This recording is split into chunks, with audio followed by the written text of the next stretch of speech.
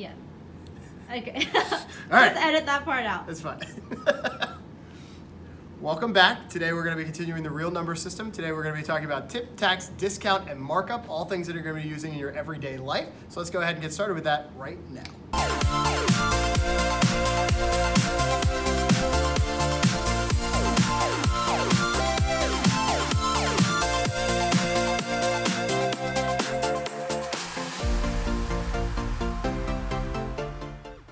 Welcome back. Today we're going to be continuing discount, tax, tip, and markup. So let's go ahead and take a look at some vocabulary terms right now. So we have four terms that we need to talk about, and we need to figure out whether we're going to be adding that to the total or subtracting that to the total. So when we talk about discount, discount is the amount of money taken off for a sale. And since we're going to be taking it off, that means that we're going to be subtracting it from whatever our total is. The tax, the tax is the amount of money paid to the government, and this is an add. We're going to add that to our bill. So whenever you buy something and you have sales tax, you're going to be paying a portion of that amount to the government, and that is called tax, and we add that to the amount. We have tip. Tip is the amount of money given for a service. So you can buy goods or you can buy services. For example, a haircut is a service. You don't actually walk out of the store with anything in your hands, but you did pay for something to happen. That is a service, and we generally add that to the bill. So that is a tip. Markup is maybe one you haven't heard of before. Markup is the amount of money added to a product by a company to cover their overhead cost and to make a profit. So when you buy something from a store like Target, Target has to charge you a little bit more than they paid for it so that they can pay their employees, that they can pay the rent on their building, that they can pay for the power in their building and the water. They have to have all of those expenses covered. And to do that, they mark up their products from what they bought them from in order to cover those things. So now let's see how we apply these things into problems finding discount, tax, tip, and markup right now. So we have two steps to find the dollar amount when we're finding ta- tip, tax, discount, and markup. Step one is we're going to change the percent to a decimal. Remember, we can't multiply percents in our calculator, so they have to be decimals. So step one is to change to a decimal, and then step two is to multiply by the original amount. So once we've turned it to a decimal, we're to multiply that to our original amount, and that will tell us how much money is in the tip, tax, discount, or markup. So let's take a look at that now in example A. So example A says Target buys DVDs from their suppliers for $5 each. The store sells them with a 60% markup. What is the selling price? So notice that for my problem I've laid out three different boxes. Now, it's very important to figure out a method for solving all of these problems. I use three boxes, but it doesn't mean that it's the only way to do these problems. So in the first box, I'm going to place the original amount. In the second box, I'm going to place whether I figured out what it is markup, ticks, tip, tax, or discount. In this case, it's markup. And in the final box, I'll have an answer. So the original amount in this particular problem is $5. So I'm going to put $5 in the original amount box. Now, since it's talking about a markup, I know I'm going to be adding to the total. So I'm going to be putting a plus sign there. Then I need to figure out the markup. So the markup is 60%. It tells me that it's 60% in the problem. But again, I can't put 60% in my calculator. I have to turn that to a decimal. So 60% as a decimal, move my decimal two places to the left, is 0.60 or 0.6. Now I'm going to just do some multiplication in my calculator. I'm going to take $5 times 0.6, and when I do that, I end up with $3. So that is my markup but it doesn't ask for what the markup is, it asks for what the selling price is. It's very, very important to read what the question is asking for. Sometimes it will just ask for the markup, sometimes it will ask for the total price. In this case, they're asking for the total price, so I have to add the $5 plus the $3, and when I do that, I get $8. So the selling price of each DVD is $8, with the $3 to cover their employee salary, their rent, and their power and water to the building. Let's take a look now at example B. So here we are at example B, and it says Raina buys a birthday present for Amna. She finds a purse that is originally $42 and a pair of socks that are $6.50. But the entire store is having a sale for 60% off. How much is her discount? So again, I've laid out my three boxes. Those are not the only way to solve this problem, but they are the way that I'm going to use. So I have a box for my original amount, a box for my discount, and a box for my total. So first I gotta figure out what my original amount is. The problem is she's buying more than one thing. She's buying a purse for $42 and and she's buying a pair of socks for $6.50.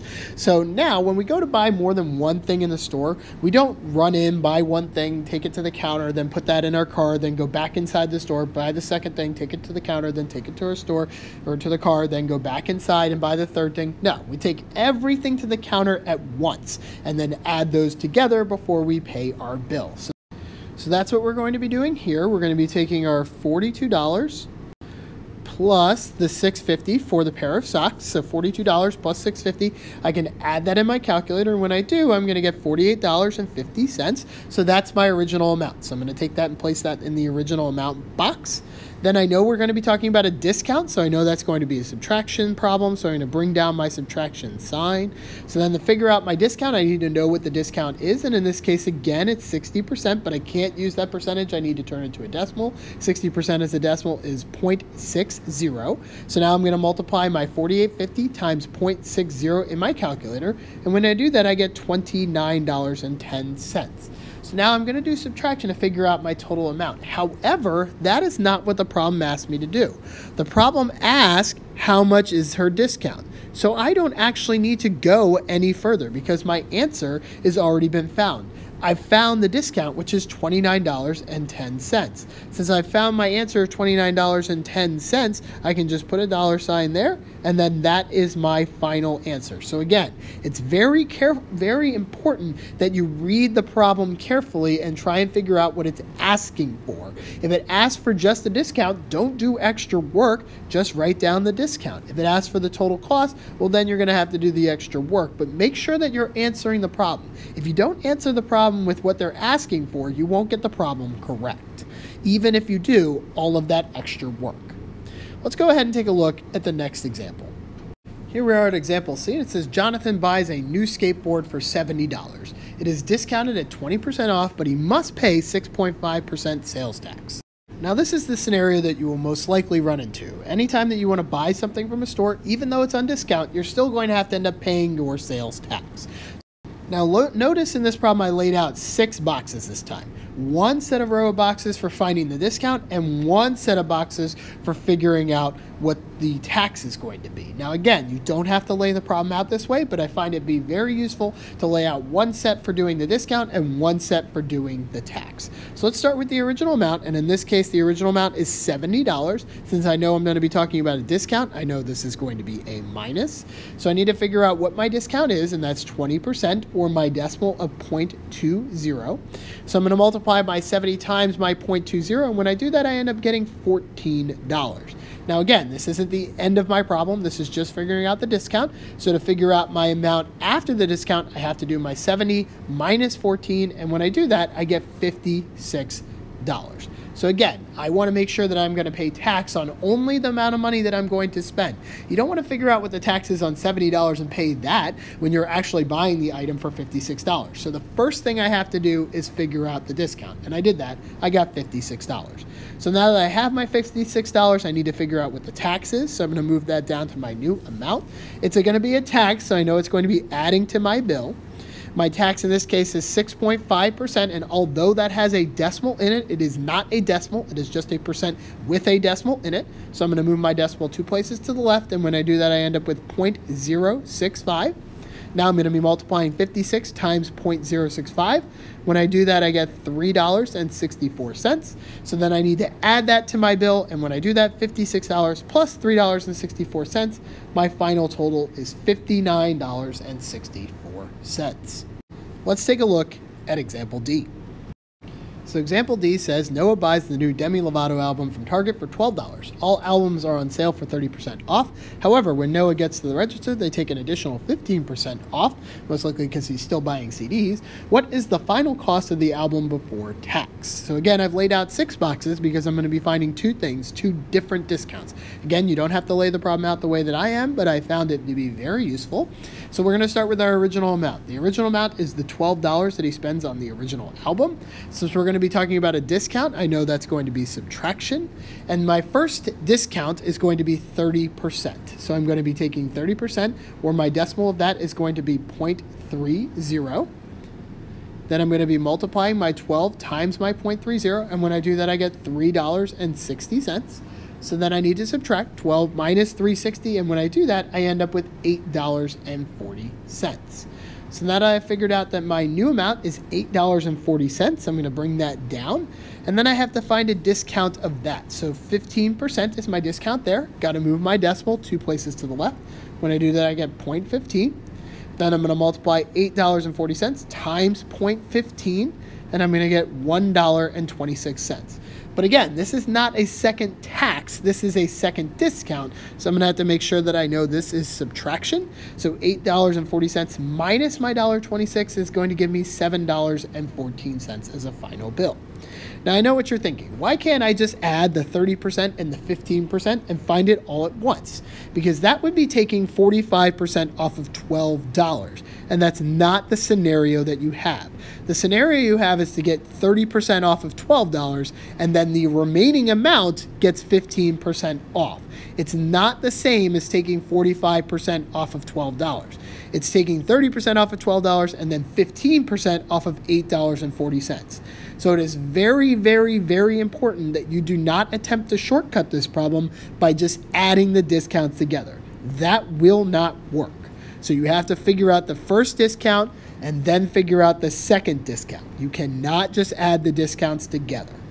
Let's take a look at example E.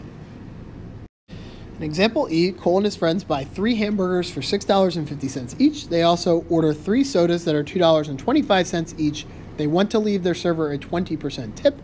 They give their server $40 in cash. How much change should they get back? So, again, a very common scenario you and your friends are out to eat and you would like to leave them the proper amount of tip. How much money are you going to get back?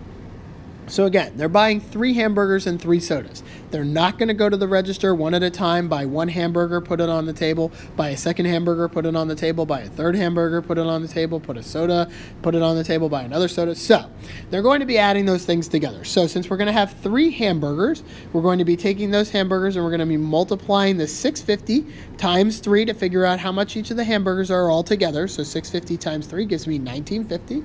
Then they're going three sodas. So three sodas at 225 so $2.25 times 3 for the 3 sodas is 675 so that's how much money they're spending. So we have to add that together to get our original amount of what we're going to be finding the tip on. So 1950 plus $6.75 is going to give me 2625 now, this is a tip, so I know I'm going to be adding it to the bill, so I need to make sure that I have a plus sign there. They want to leave a 20% tip. I can't use the percentage, though. I have to turn it to a decimal. So my 20% as a decimal is going to be 0.20. So I'm going to be multiplying 0.20 times 26.25. And when I do that, I end up with $5.25, 5.25. Then I'm going to add that together to get my total bill. So my total bill is going to be $31.50. However, that's not what the problem asked me to do. It doesn't say what is the total bill. It says they're going to give their server $40 and get some money back. In order to do that, I'm going to have to take the $40 that they spend and subtract the $31.50 that they spent. So $40 minus the $31.50, and you can see that that left me with $8.50. So how much change did they get back? $8.50. That's my final answer. Again, very important to read the problem and figure out what it's asking you to find. If you had just written $31.50, that wouldn't have answered the question and you would have gotten the problem wrong. So it's very important to read what each of these questions are asking you because although you may be able to do the math correctly for the most part, if you don't answer the question they're asking, you don't get the problem right. That brings us to the end of this video. So if you like this video, go ahead and throw us a thumbs up. If you love this video, go ahead and throw us a sub, and we will catch you in the next one.